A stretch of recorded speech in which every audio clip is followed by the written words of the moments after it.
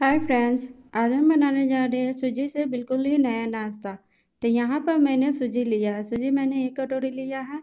तो इस रेसिपी में आप मोटी वाली सूजी हो या तो पतली वाली, इस रेसिपी में आप कोई भी सूजी यूज़ कर सकते हैं। तो यहाँ पर मैंने एक ब्रेड लिया है। तो इसमें हम ब्रेड को तोड़ तोड़ को डालेंगे। तो सूजी ब्रेड से बन रहा है नाश्ता तो इसमें मैंने एक ही ब्रेड का यूज़ किया है। अगर आप ज़्यादा क्वान्टिटी में बना रहे हैं तो इसमें दो तीन ब्रेड भी यूज़ कर सकते हैं। तो छोटे छोटे पीस करके मैंने डाल दिया है। तो इसमें हम डालेंगे दो चम्मच दही। तो दही आप खट्टा हो या तो फ्रेश दही, कोई भी इसमें डाल सकते हैं।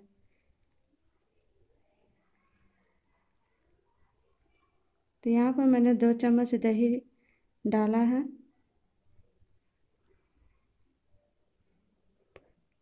और एक गिलास मैंने यहाँ पानी लिया है। और इसे डालकर हम बिल्कुल ही गाढ़ा घोल तैयार कर लेंगे। ब्रेड है जो अच्छे से सूजी में मिल जाता है तो इस तरह से हम मिला लेते हैं। यहाँ पर हमने तैयार कर लिया है तो स्वाद अनुसार मैंने नमक डाला है और थोड़ा सा मैंने यहाँ गुल की जीरा का पाउडर डाला है और इसे हम अच्छे से मिला लेते हैं।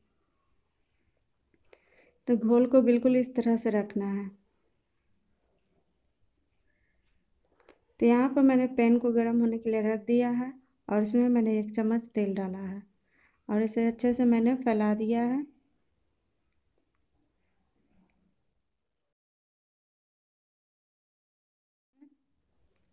तो यहाँ पर गोल गोल मैंने टमाटर को काट लिया है और वो मैंने इस पर डाला है।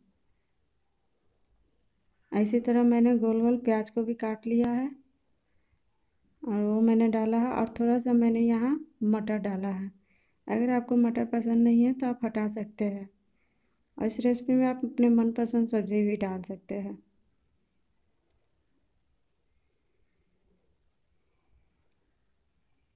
तो यहाँ पर मैंने अच्छे से डाल लिया है। तो मैंने जो सूजी का घोल तैयार किया है तो इसके ऊपर से हम कवर कर देंगे। ऐसे बिल्कुल ही मीडियम गैस पर पकाएँगे।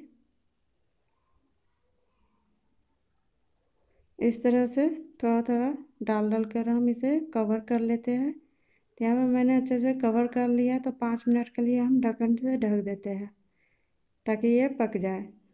तो यहाँ पाँच मिनट हो गया है, ये ऊपर से बिल्कुल ही पक गया है। तो इसे हम इस तरह से हिला कर देखते हैं तो बिल्कुल ये पैन छोड़ दिया है। तो इसे हम पहले प्लेट में निकाल लेते हैं। इसके बाद हम पैन में डालेंगे। नहीं तो अगर आप पलटिएगा डायरेक्ट तो ये टूट सकता है।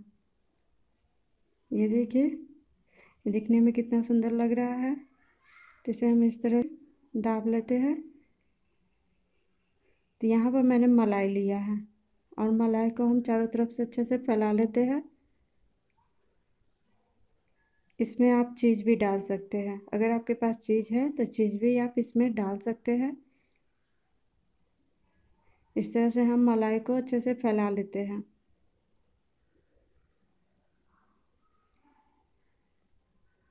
तो मैंने चारों तरफ़ मलाई को फैला लिया है।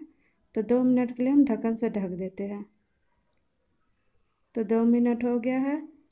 तो ये बिल्कुल ही हो गया है अच्छे से। तो इसमें हम डालेंगे थोड़ा सा चिली फ्लेक्स।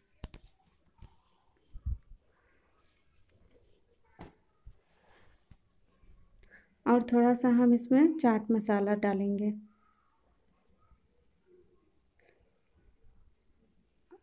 अब गैस को हम बंद कर देते हैं और इसे हम एक प्लेट में निकाल लेते हैं। तो यहाँ पर हमने एक प्लेट में निकाल लिया है।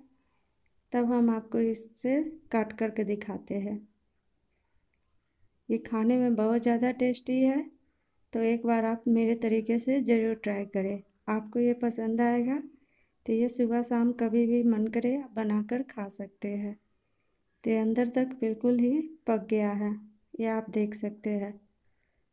तो इस रेसिपी को ज़रूर ट्राई करना और मुझे कमेंट करके ज़रूर बताना। Thank you.